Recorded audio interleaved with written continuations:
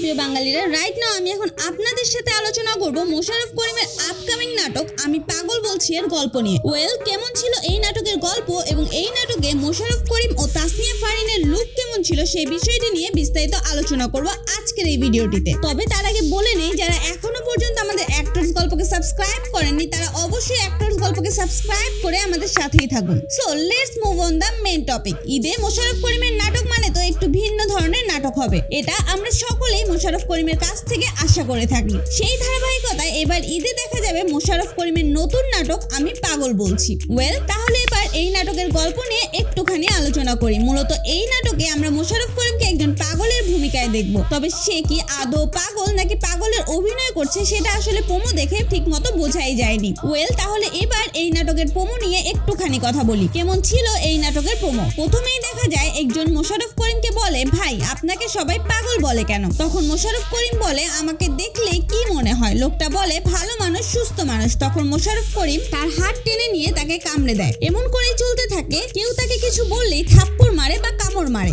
এরপর তাসনিয়া ফারিনের সামনে এক লোককে থাপ্পড় মারলে ফারিন কারণ জিজ্ঞেস করলে আমার বাপ লাগে তাই। এরপরে দেখা যায়, তাসনিয়া ফারিন যখন বলছে, তার বাবা তাকে জোর করে বিয়ে দিয়ে দিচ্ছে, তখন সে বলে, তুমি তোমার বাচ্চার জন্মদিনে আমাকে দাওয়াত দাও নাই, তুমি ভালো না। এরপর পাড়ার লোকদের সামনেও তিনি একজনকে কামড়িয়ে দেয়। এভাবেই চলবে নাটকের কাহিনী। নাটকের পোমো নিয়ে তো অনেক কিছুই বললাম। তবে লুক নিয়ে কিছু বলি। মোশারফ করিমের লুকে কোনো পরিবর্তন নেই। তাসনিয়া ফায়ারিনের লুকেও তেমন কোনো পরিবর্তনই দেখা যাবে না। তবে এখানে মোশারফ করিমের একটি কথা খুবই ভালো লাগার ছিল। পাগলের উপর কোনো লাইভ নাই। সো ভিউয়ার্স আমি পাগল বলছি, এই নাটকটি দেখার জন্য আপনি কতটা এক্সাইটেড তা আমাদের কমেন্ট বক্সে জানাতে ভুলবেন না। And please subscribe our channel for more updates